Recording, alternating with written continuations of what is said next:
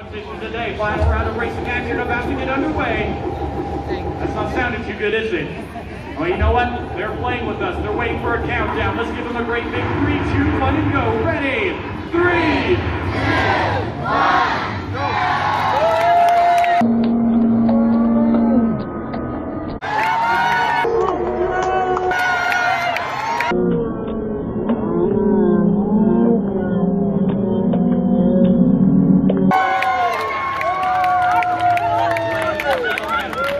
It to the kid who won by the hairs on his chinny chin chin. And it was number one, Soapy Spin.